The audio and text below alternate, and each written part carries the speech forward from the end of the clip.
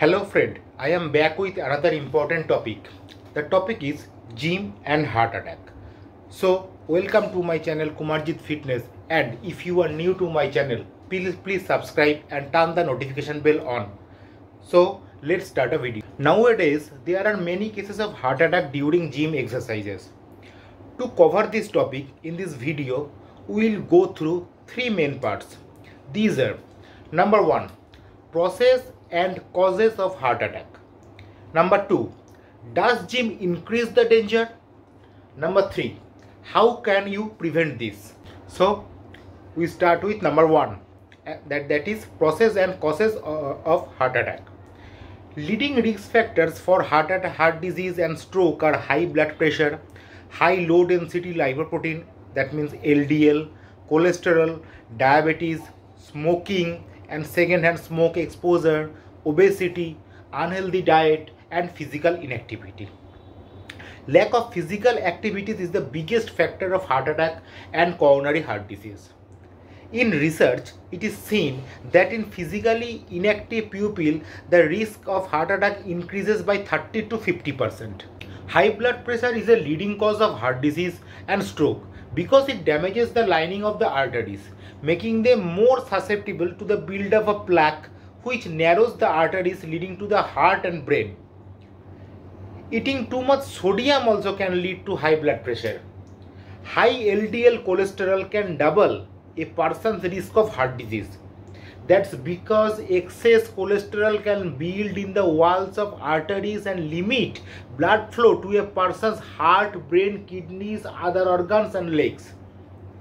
Adults with diabetes are twice as likely to have heart disease or a stroke as people who do not have diabetes. Over time, high blood sugar from diabetes can damage blood vessels in the heart and block blood vessels leading to the brain, causing a stroke. Smoking is a major cause of heart disease and stroke and causes one in every four deaths from these conditions. Smoking can damage the body several ways. Number 1. It raises triglyceride. It is a type of fat in the blood and it lowers the HDL cholesterol that means the good cholesterol. Number 2.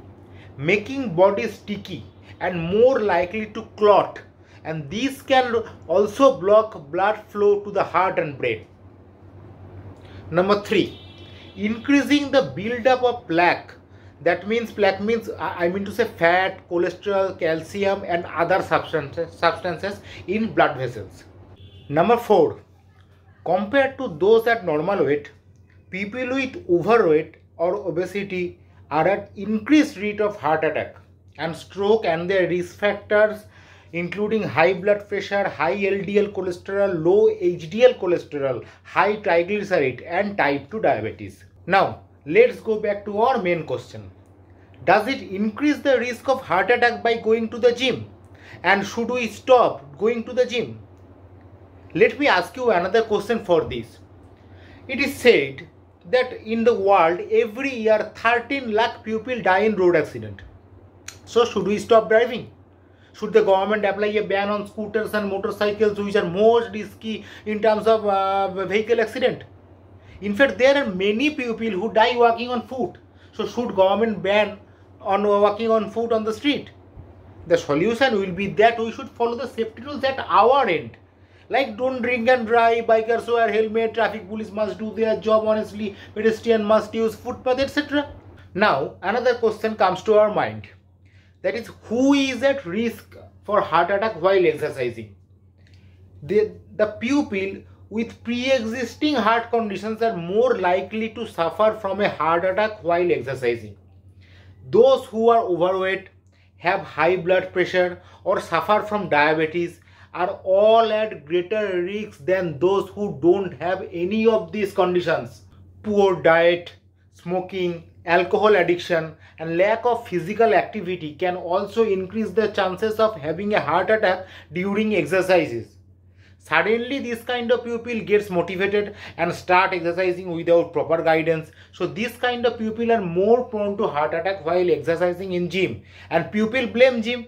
This is now this is the condition. So here we come the third point of our video. that means preventive measures. There are several steps you can take to reduce your chances of having a heart attack in the gym. Warm up exercises before beginning any uh, high intensity workout. Stretching exercises are beneficial as they prepare the body for more intense physical ex- uh, exercises. Monitoring your physical condition by consulting with doctor regularly will help uh, identify any potential issues early on Try not to work out too hard or for too long at once. Don't exercise if you have an empty stomach or overfeed. Do exercise in a well fueled state. In pre workout, you can eat simple carbs and proteins. There will be sweating during workout, making you dehydrated. So, it is always important to carry a bottle of water and sip it between exercises you can add some lemon and salt to the water also. Additionally, it is important to listen to your body. If you feel tired or exhausted after just a few minutes of exercise, take a break and rest up before uh, resuming. And the most important suggestion is please stay away from steroids.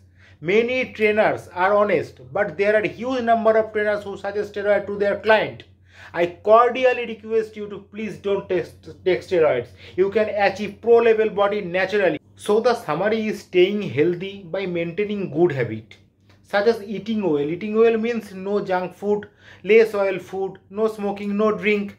And exercising regularly will go a long way towards reducing the chances of suffering from a heart attack while working out in the gym.